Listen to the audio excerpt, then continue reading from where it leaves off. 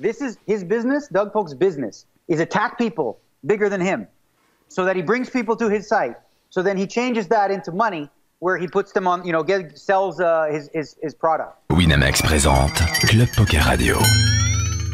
Thank you for being uh, here with us. So let's talk first about the the most recent uh, subject. Obviously, uh, you know what we're talking about, the Player of the Year. Um, so it was a really tough battle during the last week in Rozvadov, and you learned when you landed in the US that you were the Player of the Year. But then a few days later, you received a phone call uh, saying that it was actually Robert Campbell who won. So I guess it was a real roller coaster of emotions. Uh, there was a lot of reaction on social media. How did you handle everything? So I'll be honest with you. When I got the news, um, I wasn't. I thought I was going to be very upset or angry, but I wasn't because I thought about what I did. I went to Rozvadov with my intention to leave with the most points and win Player of the Year, and I did. I accomplished my goal, and this is all a personal journey. It's all about silly goals. There's no money on the line. It didn't cost me anything other than a picture in the Rio. So in the end, I was happy for Robert Campbell. I felt like he was deserving. I was proud of the accomplishments that I put together. Obviously, had I known the points were different, I would have played different in a lot of the tournaments, especially the last one. Um, and then, of course, some of the reaction. I mean, you know, you had Doug Polk and Shaun Deeb both like accuse me of knowing the points were wrong, which isn't surprising to me because this is their, what they do. They just baselessly accuse people of something with no evidence. Just, eh, I think so. Very, very bad thing to say in poker to somebody that you're a cheater without any evidence. And I have lots of evidence to show that I didn't know, and all they have is, well, he pays attention to this stuff, duh. So he must have known, duh. I'm an idiot, duh. I'm a troll, duh. Like that's all they got. Like it's so stupid. It's very typical, you know. Truth is irrelevant. Vraiment, ce n'est pas important pour, pour, pour elle. It doesn't matter to them. They don't give a shit about the truth. Yeah, that was that was actually my next my next question. Uh, were you surprised and hurt by the comments and like the strong accusations they made against you, Shaun Deeb and Doug Polk? But uh, apparently you were I'm not, not really surprised. surprised. Well, how would I be surprised? This is his business. Doug Polk's business is attack people bigger than him, so that he brings people to his site. So then he changes that into money, where he puts them on, you know, get, sells uh, his, his his product. That's what he's been doing for since he started. It's not new. He's been attacking me with lies for five, six years. It's it's it's just an extension of that. So of course, I'm never surprised when he has something bad to say about me. Of course. And uh, did you have the occasion to talk with Shaun Deeb during uh, the, the last WSOP in in Rozvadov or not? I was civil with him because I realized like his brain doesn't work like a normal person. He has like it's true. it doesn't. He has like a lack of empathy or understanding because he said on January 3rd, I was got engaged January 1st to my wife Amanda. On January 3rd, he tweeted, "I can't wait. I can't wait for the divorce tweet." Who says that? Not a normal person. So I said, "What's wrong with you?" His friend said, "Shaun, why would you say something like that?" So from that point on, he's never apologized, never acknowledged that what he said is wrong, doesn't seem to care. So I realize he's just a little cuckoo. So I see him that way, and I don't take him all that seriously anymore because his brain doesn't work right. Just something's wrong.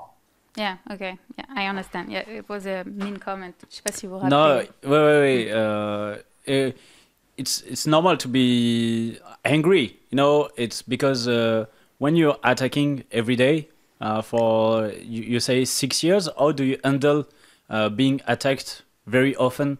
It's not th- that time, you know, uh, because you're you're a public person. So how do you handle it? Yeah. Well, for the most part, like 99% of it, just ignore it. Don't bother. But when somebody makes a serious accusation, like says you're a cheater and you lied or you didn't know the points, then it's important to speak out and show all the evidence which shows that absolutely not. You're dead wrong. And you know that's that's not okay to do. If you come after me with stuff, I don't care. Come after my wife for nothing. She doesn't even know who Shaun Deeb is. She first said, "Who is this fucking guy? I don't even know who he is." And uh, you know, so for him to say that, uh, I have to respond and, and you know show respect for my wife. But mostly, I think the approach is just ignore it and realize that a lot of times people don't like you because they want to be you. They want to have what you have. They they and you know jealousy, hatred. It's easy to have mob mentality when you're in the top of your industry, whatever it is. A lot of people, instead of trying to climb themselves, they want to pull you down and step on your shoulders. And that's never a good strategy long term as, as a life strategy. Mm-hmm. And um, yeah, to come back about the, to the WSOP and the Player of the Year system, uh, do you think because you already complained many years ago about the system, uh, and do you think that this incident this year uh, will push more the organization to change the system to be more about quality instead of quantity of, and min cash? I hope so. That's what I've been pushing for for years. And the main idea I have to fix it is to limit the number of cashes that count. You can come up with whatever number you want, whether it's 10, 12, or 15. I don't care. Pick a number so that, you know, Chris Ferguson and the other players who just late, last minute reg try to double up and get 50, 60 points for player of the year. It makes for stupid poker. Like in Rozvadov, I was vlogging and I was showing people, like, this is what I'm doing. I'm going all in to try to double up to get a min cash. It's like not poker, you know? We want to celebrate wins, final tables, not Ooh, I came 785 into Colossus. Who cares? That's not a big deal. Shouldn't get any points for that. Mm. And uh, yeah, you had an amazing year. Uh, you got married. You quit Poker Stars after 12 years of sponsorship. Uh, your vlog is really booming. Um, how this year was uh, like uh, life changing for you? Well, you mentioned the biggest and most important one, which was, you know, marrying my wife Amanda Leatherman. Great story about that that many people don't know is about 10 years ago, I bought a ring for her to, to ask her to marry me, but I never gave it to her. She was young, wanted to party, had fun. I was in a different place, you know. I was older, you know, much ready to, you know, get settled down. She's like, I want to have fun and live. So we split, you know. I kept the ring for 10 years in my safe. I never got rid of it. And she came back to Vegas to do a show, and we started talking again. And, I, you know, we had the chemistry. She's grown as a person. I've grown as a person to where now it makes sense and it works. So we're like, well, hey, I have this ring, so I might as well give it to you. So she accepted, and uh, you know, it's been blissful. Like we, mm.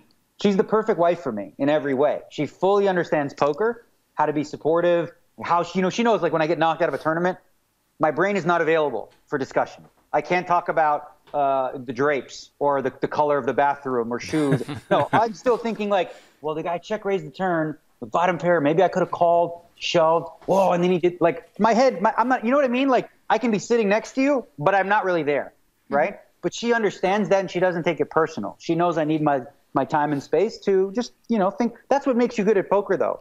Is like after you play, you should be thinking about all the hands and going, okay, what did I do right? What did I do wrong? What can I do better next time? Yeah, it's it's really crazy that you kept that ring for so long. Ah, I know. Yeah. Yeah, my ex girlfriend probably didn't like it very much. Definitely not. we we won't tell anybody, you know. Yeah, yeah. and uh, yeah, about about Poker Stars, it was also a big uh, change for you because you stayed with them for 12 years. Uh, and so, what was the main motivation for you to uh, to just uh, take your freedom? Well, you know, 12 years is a long time, as you said. You know, you don't.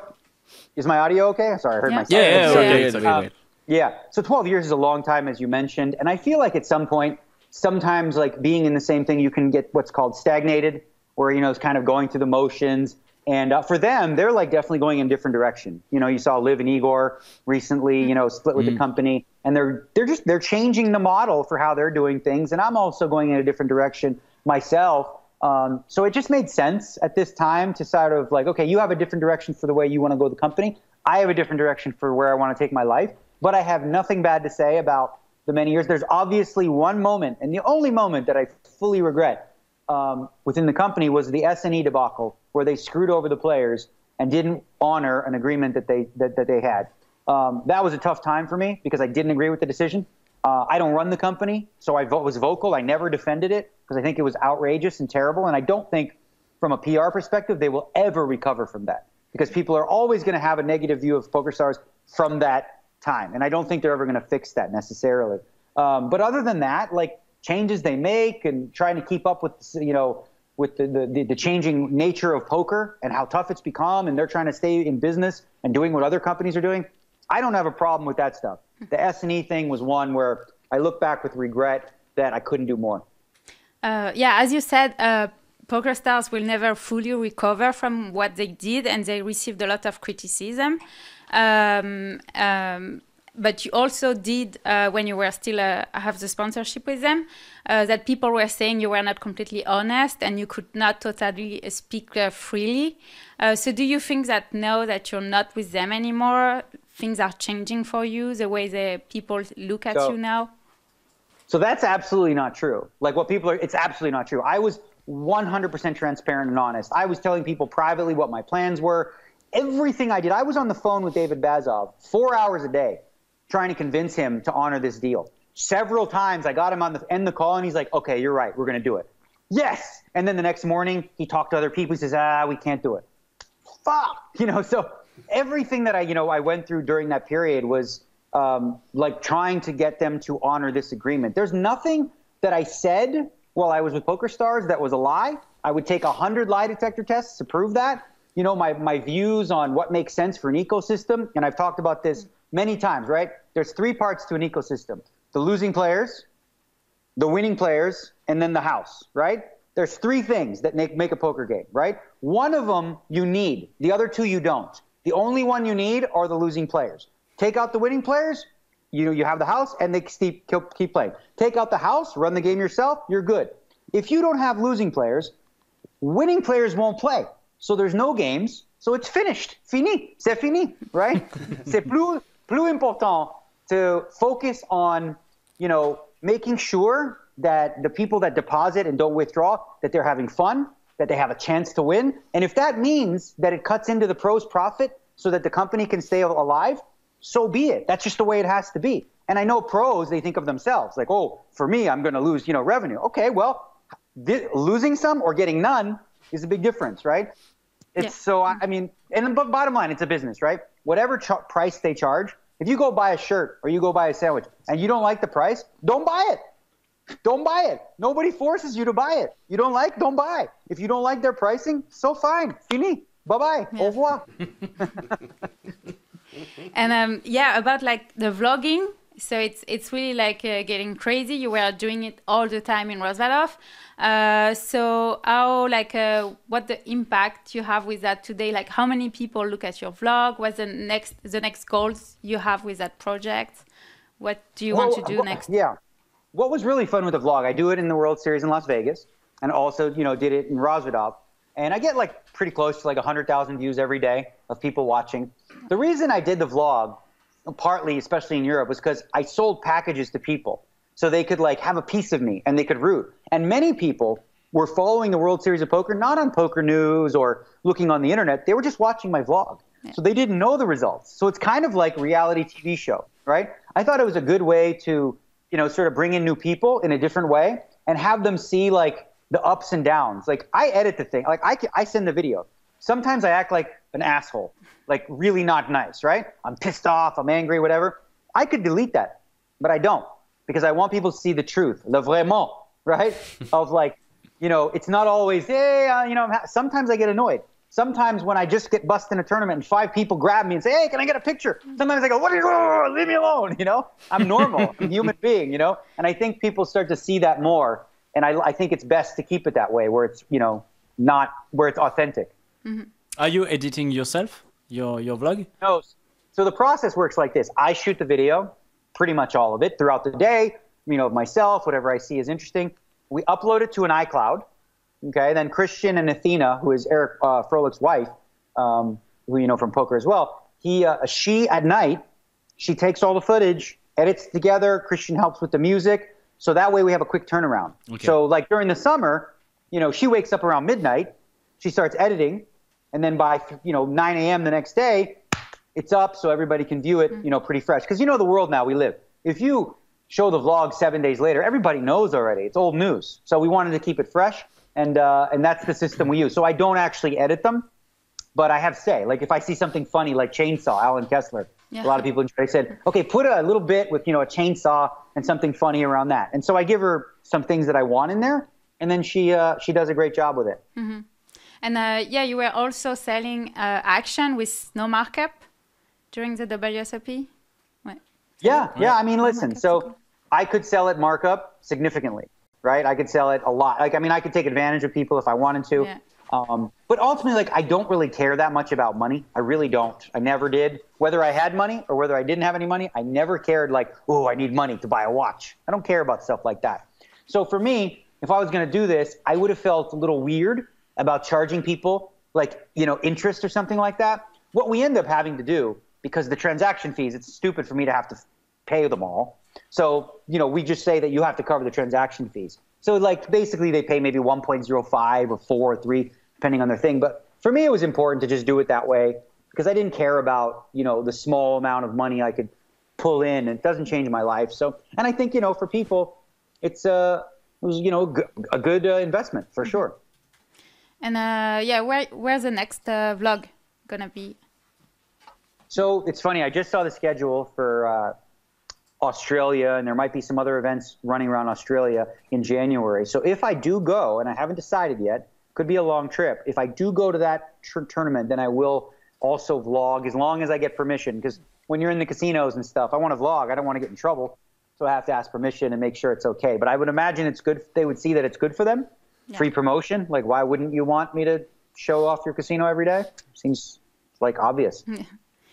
um, um, um, you do a master class uh, in uh, September. So, what was your your goal or your everybody now do a, a master class. Why you? What was the the point to do this? Oh, my, so mine is completely different for a couple of reasons. First of all, I'm working with masterclass.com. If you look at who works with masterclass.com, it's the pinnacle people in their industry. Martin Scorsese teaches directing. Uh, Serena Williams teaches tennis uh, Wolfgang Puck teaches cooking. Yeah, we know, don't, we don't, we don't know the, we don't know these people. Yeah. Who are they? oh, well, well like, I'm sorry, you never heard of any of them? No, no you know, I'm joking, yeah. obviously. So all like the top of their class, and they do such high-end work. And the, what I also liked about it was, so a lot of the masterclass people do. It's for poker players, right? Just people who really, really play poker. Masterclass reaches a much wider audience of people who are not in the poker world. They don't follow the new poker news all the time. But let's say they're looking at a video uh, of you know Steph Curry to teach to show teach how to sh- basketball. Then they see poker. They say, "Oh, maybe I'll watch this one too and get interested." So it was an opportunity to expand. And they did so much marketing. You probably every time you watch a YouTube video before you watch a poker one, the masterclass comes up. You know because they spend yeah, a lot yeah. because it's been very well received. They did. Uh, you know, they're very happy with the results of uh, what we did. Uh, what, what, what's the, the main difference between yours and Phil Ivey's? So with mine and Phil's, obviously Phil's is shorter, so mine is a little more extensive. And you know, Phil is more, I think, based off of like hands he's played, discussing his thought process and things throughout. So like you're hearing from Phil Ivey like how he approaches poker. So that's basically like that's what you would learn. Is like how does Phil approach it? Me, I try to take it from a different perspective and teach you how to do it and teach you how to think about it. So I do share, of course, like he does, how I play hands and how I've played hands in the past. But I'm also teaching people basic principles, concepts, some very like nerdy high end concepts. But I try to do it in English. Maybe I'll do it in French someday too. But uh, I try to do it in a language that people can understand. Because you know, when poker nerds talk, sometimes you're like, oh, you have to metacognition bifurcate your ranges and blah blah blah. Like, what the hell? What language is this? For average people, they don't know what you're talking about. So I try to take that information that's very good and explain it to them so they go, aha, I understand. Uh, a few years ago, you were playing High Stakes Poker, the, the famous uh, cash game show. Uh, nowadays, uh, there is a Triton Poker cash game that's like the, the pendant for the, the cash game uh, uh, show we we will see you in this show maybe one day in Macau. Yeah, I mean, you know what? I didn't know much to be honest about Triton a year ago. I was like, I don't know, what's this thing? But then I watched the million dollar charity event that mm. Bryn Kenney won, and I was like home here, like betting on it with friends, watching every day. And I'm like, man, I want to be there so bad. It looks so cool, really, because I think what Triton understands. You know, we talked about this before. The the, the ecology of poker, winning players, losing players, and the house. They understand better than anybody. The most important player, your real VIP, is the player who's losing money. So they set up an event. Fantastic idea where businessmen got to play and they got to pick a pro who got to play as well. And then the first six hours of the tournament, the businessmen played with the businessmen and the pros had to play with each other. And then they combined like that. So, really good idea to give businessmen not a feeling of like, I'm ta- being taken advantage of, I'm a sucker. Nobody wants that. Like, if you're a businessman who has a lot of money, maybe you don't mind losing a million. But do you want to feel like embarrassed by playing with like eight top pros and you look like a, you know, a fool? You want some kind of a chance. So, they understand that better than anybody. And I definitely think in the future I'll be uh, attending Triton events.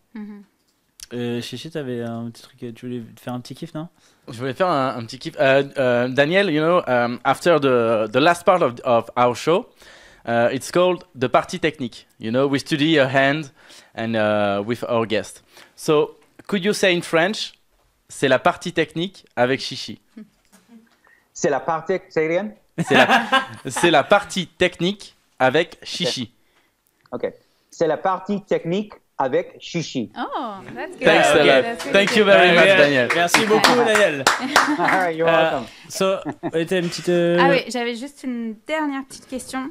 Uh, yeah, I had another question. Last question. It's not about poker at all, but uh, you really like you've always been uh, really vocal on social media everywhere about politics, and uh, you're supporting Andrew Yang.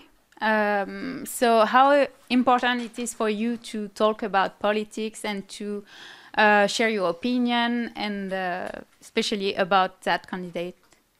Yeah. Honestly, like on my social media, I try to talk about it less now because I've learned over the years that right now with social media is like, I believe this, I believe this, and then you just keep talking, but nobody listens. Nobody's going to change their mind. It's so it's a waste of time. Andrew Yang is different. You know, I think like people on he, he's like, I'm not right, I'm not left, I'm forward. And I think he unites in a, in a way both sides, and he's not involved in that sort of hatred and, that, and back and forth. So I like him. I think that he could win if he were to win the nomination, which obviously is unlikely to happen. I do think he would be the most likely to beat Trump. As of now, I'm very concerned, very concerned that if they run who are, is in the front right now, that Trump will win and win easy in this in this country. And listen, I'm I'm embarrassed to say it, but that's uh, more likely to happen than not because uh, you know th- there's a lot of there's a lot of strange. But I don't want I, I don't want to insult people too much, but uh, Trump is an idiot and he speaks well to idiots and they understand what he's saying. So you know, say la vie. Yeah. He's gonna be upset. He's gonna be upset when he will. When he, listen listen that. to the when he show. will listen Yeah. to the show, but you know. yeah. But, uh, yeah. Et toi, Yeah. t'avais encore une autre question Um, Daniel, on va te, on va te libérer. We're gonna set you free. Ah, merci beaucoup. Euh, Thank you very Ah, much. Merci, merci beaucoup. Merci euh, mille fois Yeah. d'avoir été avec nous euh, ce soir. Enfin, je sais, c'est le. C'est it's, la uh, journée. It's 1, 1.45 p.m. 1:45 p.m. Yeah. for you. yeah, oui, c'est ça.